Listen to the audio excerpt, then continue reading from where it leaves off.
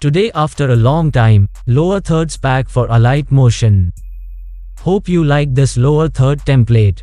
And it is very easy to edit these lower third, just import the template in Alight Motion, then change the lower third's color, text, font, or a little animation, then that too can be done easily.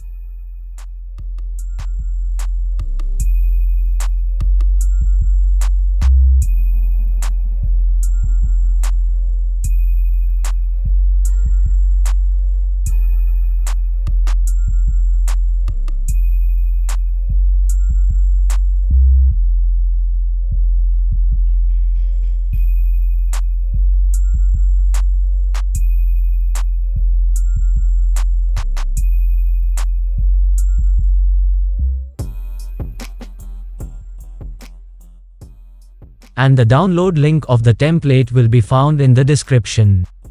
So now see you back in the next video.